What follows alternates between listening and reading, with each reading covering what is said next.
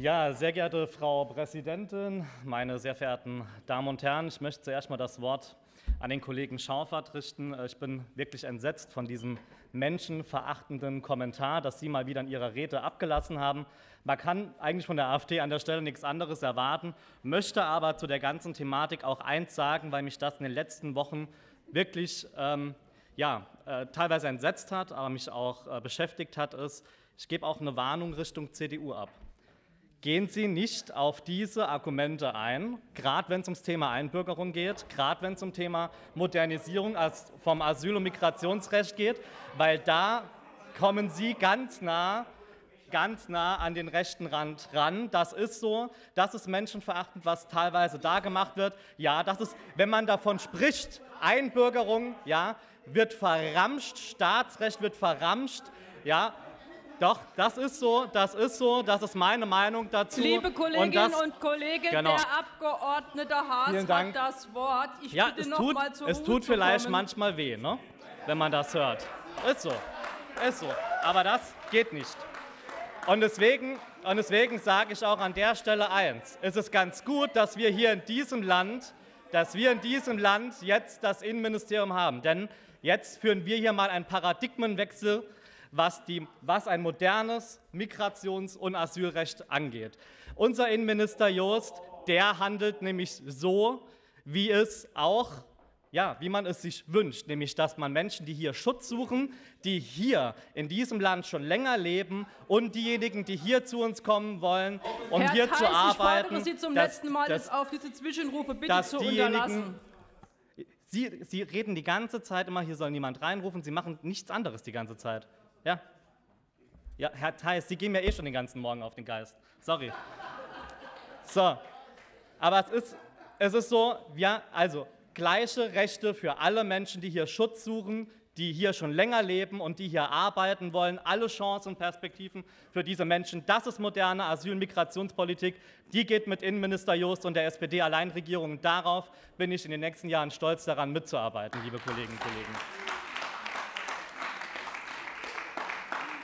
Und im Gegenteil zu dem, was hier immer wieder behauptet wird, ähm, unser Innenminister würde die Kommunen im Stich lassen in so einer schwierigen Situation. Das hat er gerade nicht. Er hat gehandelt. Er hat die letzten Monate gehandelt. Er hat die Kommunen unterstützt, indem er die Bearbeitungsprozesse zum Beispiel beschleunigt hat, gerade für ukrainische Menschen, die hierher geflohen sind, damit sie schnell vom Asylbewerberleistungsgesetz in den, ins, äh, in den Rechtskreis des SGB II kommen, um auch zu arbeiten, um sich weiterzubilden oder weiter zu studieren. Wir haben eine Lösung gefunden für Drittstaatsangehörige aus der Ukraine, damit damit sie auch hier Fuß fassen können, damit wir ihnen hier eine Perspektive geben können, denn wir brauchen sie. Wir haben heute Morgen so oft über Fachkräftemangel gesprochen.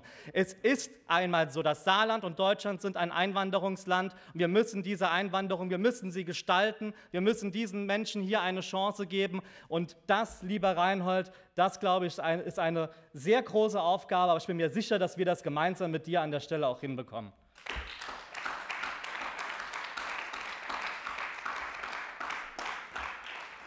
Und äh, liebe Kolleginnen und Kollegen, zum äh, Thema Bauen möchte ich an der Stelle auch äh, nur noch ein paar kurze Worte finden.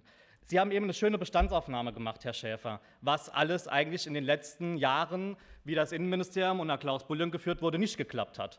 Ja, diese Bestandsaufnahme, die haben wir gemacht, als wir das Haus übernommen haben. Und wir arbeiten jetzt seit Monaten dran, nämlich in die Zukunft zu arbeiten. Sozialer Wohnungsraum. Ich habe hab auf verschiedenen Veranstaltungen Herrn Bullion immer gehört, der gesagt hat, wir brauchen ja gar keinen ähm, Neubau an Sozialwohnungen, der Bedarf ist gar nicht da. Das hat er ganz oft gesagt. Doch, und wenn man, dann, und wenn man sich dann noch anschaut, wie viel, wie viel sozialer Wohnraum ist in dieser Zeit entstanden, das deckt absolut nicht den Bedarf, den wir in den Regionen haben, hier im Großraum Saarbrücken, aber eben auch in der Grenzregion zu Luxemburg. Und deswegen bin ich froh, dass das, was Pascal Aweiler eben auch gesagt hat, wir jetzt einen Neustart hinlegen können im sozialen Wohnungsbau und endlich mehr bezahlbaren und sozialen Wohnungsbau in diesem Land gemeinsam mit öffentlichen und privaten Trägern hinbekommen werden.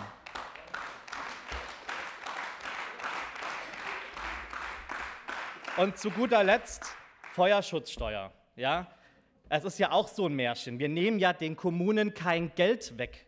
Wir rechnen, wenn man sich, schauen Sie doch in den Haushalt rein, ja? Wir nehmen den Kommunen kein Geld weg, sondern wir gehen mit den Mehreinnahmen hin und verteilen sie anders. Ja, das Land nimmt sich von den Mehreinnahmen 5% mehr, um das, um das Ehrenamt der Feuerwehr an der Stelle zu stärken. Sie reden an der einen Stelle beim Sport darum, das Ehrenamt zu stärken und an der anderen Stelle ist es ihnen dann scheinbar egal. Und deswegen finde ich, muss man das an der Stelle auch mal richtigstellen. Jetzt ist meine Zeit vorbei, nicht, dass meine PGF gleich die rote Karte hebt. Ich danke Ihnen, liebe Kolleginnen und Kollegen, und wünsche noch eine gute Beratung.